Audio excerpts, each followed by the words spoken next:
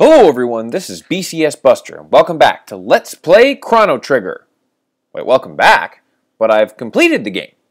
And I can, as you can see, I've beat it one time already. But now we can visit the Dimensional Vortex, and I will go over that a little bit later, actually. But the game is not finished, and this is a really, I think, I think this is a unique concept to Chrono Trigger when it first came out, and people were blown away by this. So if you keep on going, ending number one. Most games only have one ending. That's why it's called the end. Ending log. What the heck are they talking about? Okay, well, we want to save our game completion data. So let's go ahead and do that. And you can see that's the party that I defeated Lavos with, Crono Frog and Lucca. But yeah, let's go ahead and return to the title screen. And you can go through the, uh, the opening cinematics again if you want. What I want to do is now we've got a couple of new items that we can select here on the menu screen. So the first thing we want to do is select extras. So let's take a look at that. And here's our save file. So let's go ahead and save that, uh, load this file. Yep. Now so we got some new things here in the extras menu. So now if you want, we can visit or we can see all of the movies again. And there's another movie apparently, and I'll, I'll have to go find that uh, the next time. And we have concept artwork, so you can kind of see sorry, let me, go through this again pretty quickly. Or I went through this pretty quick. So yeah, you can see this is what all the characters look like in their concept there. So Ayla. Ooh, Magus looks pretty badass. Ice and Flame. So yeah, this is their antipode attack. And Ayla's entrance. Ayla and the Dactyl. So this is pretty cool. And there's Ayla there. There's the Epoch. Smiling Princess, that's cool.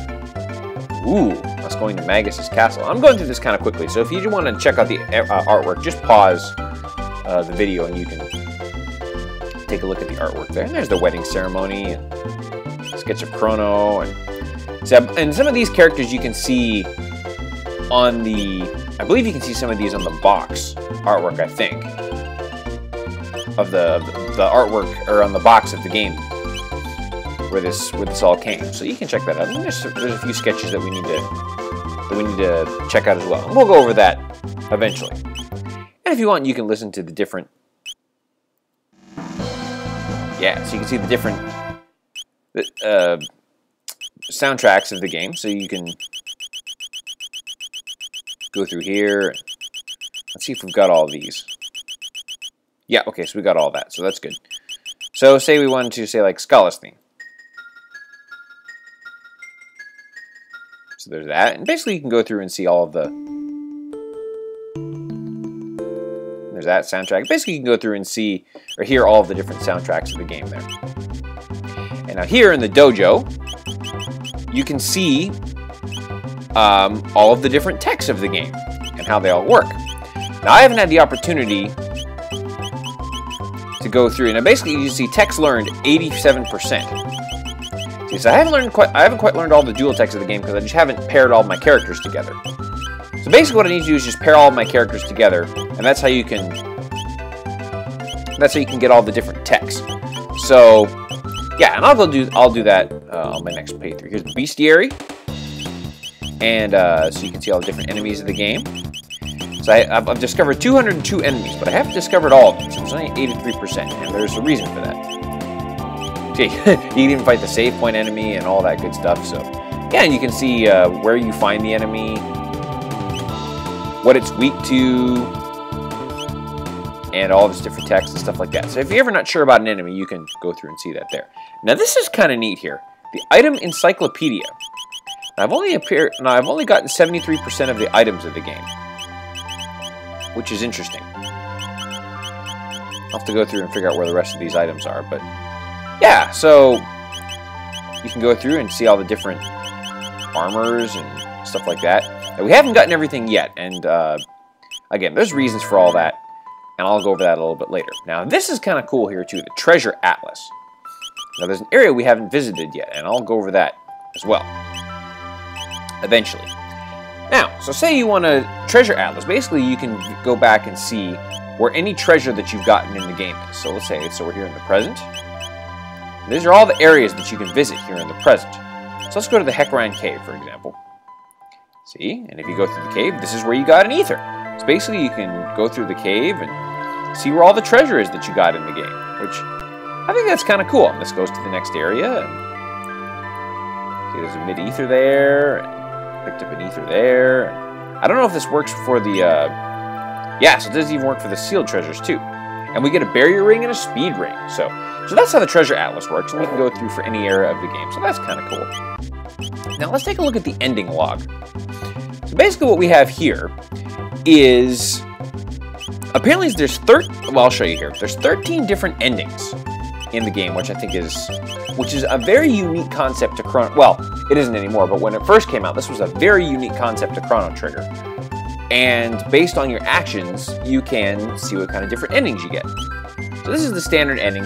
Contexts vary according to the status of the epoch. So basically what that means is that depending on how you go through the game, uh, you know, it, certain events will happen that will that can cause different outcomes of the game. Like for example, if you went through the scenario with Robo and didn't save Lara, she'd be sitting down as opposed to standing up. Or if you defeated Magus, Glenn would be in his human form, or Frog would be in his human form and would be Glenn. But that's just a couple different examples of what can happen there. There's the image uh, that is represented by the ending there. So there's a bunch of different endings, but how do we access these different endings? Well, the way we do that is through New Game Plus. Now, basically what's going to happen here is we're starting a new game, but what we're going to do is we're going to select a file from going through the end of the game. So let's go ahead and load that file. Now this is everything's exactly the same, just like from the beginning. Uh, yep, that's all fine. Very good. And we get to name Crono. Okay, now here we are through this again, and I'm just going to fast forward through this. But except, but now that dimensional vortex is on the world map. How the hell are we going to get there? Yeah, so there's the fair. So this is the beginning of the game here. And there's just like before. Okay, let's go turbo past this. Oh yeah, the Millennial Fair. Okay, out of bed with you. Very good. Okay, very good. Yeah, Crono's ready to go, but look at this. Crono actually has the same amount of HP that he did at the end of the last game. And if you go to the menu here, check this out. Crono's at level 50. So that's really cool. So now, unfortunately, we don't have, we didn't save our money. Our money doesn't transfer over. But all of our equipment from before is, has been carried over to this. So we can equip the rainbow. Uh, I'm going to equip a vigilance hat him. Moonbeam armor and the Wrath Band. So basically, Crono is now just as good as he was when we defeated Lavos the first time. So that's very cool. Alright, very good. We'll go down here. Oh yeah, the young adventurous friend, so we can name Lucca.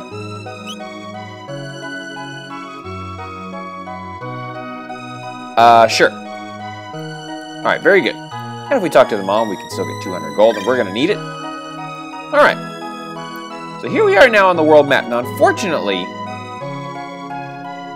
so like we're just at the beginning of the game, so we can't go to the Heckran Cave or anything just like that. And we can't quite access that dimensional vortex just yet. But we will. Trust me. Okay, so now, we, now what you can do is essentially just play through the game just like before. Yeah, yeah, yeah. We've got this from before, and there's Melchior. No thanks. So, we want to go up here and we want to meet Marle. There she is.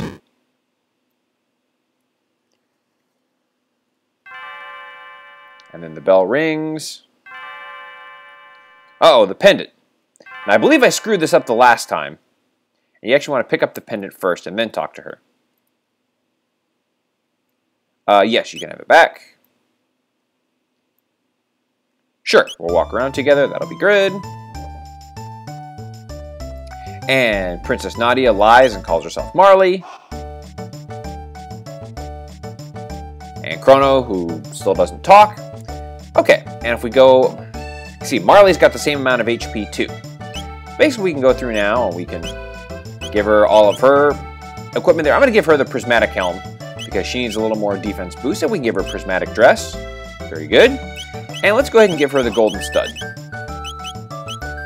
There we go. Very good.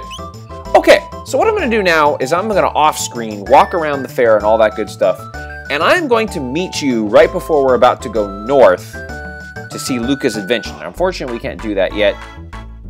So like I said, I'm going to go through and take care of all this. I will return the cat to, well here, I'll do, I'll do this real quick. But yeah, I'm going to return the cat to the lady, or to the kid there. Basically, I'm a, what I'm essentially doing at this point is getting a second playthrough of the game. And at different points in the game, come on kitty, there you go. At different points in the game, uh, you can go and fight Lavos, and that will cause you to get different endings. And we'll go over all that here in just a little bit. But here, let me return the kitty. No, come here, come here. There you go. Yep. Yeah, no problem. Okay, so what I'm going to do now is go through, and I'll oh. eventually go through the game off screen and meet you back here at the point when I can go through and see Lucca's adventure. And I'll be right back. Okay, so I've made it through here, and now we're ready to head up there. I've returned the cat. One thing I wanted to show you also is you may recall at the very beginning of the game. By the way, we have we have all of our items from before. You can get a you can get a power or a strength capsule in Guardia Guardia Forest. Well, you can actually go get it again. And we're basically going to have the opportunity to double strength our characters and make them twice as strong as we go through the game. Well, not necessarily twice as strong, but give them all tabs a second time, which is, is unbelievable. So now let's go up this way. And then there's a transporter. Very good.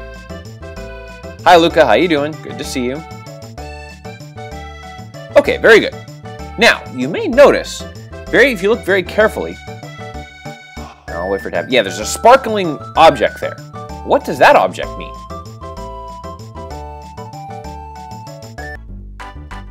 Now, we could do what we're supposed to do and, you know, go talk to Lucca and have the teleport device not work and have Marle sent to 600 AD. but you know me better than that, BCS Universe. Let's check out this little sparkling thing here. Ooh, a gate. It's green too, but we know how to use gates. This will be fine.